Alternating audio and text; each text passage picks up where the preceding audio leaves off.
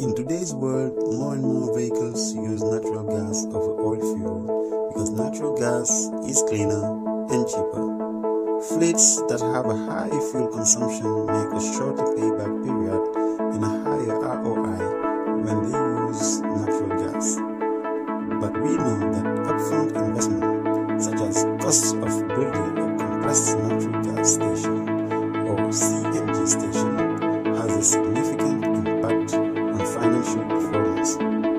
That's why at Enric Compressor, we have optimized our design to get the most cost-effective solution.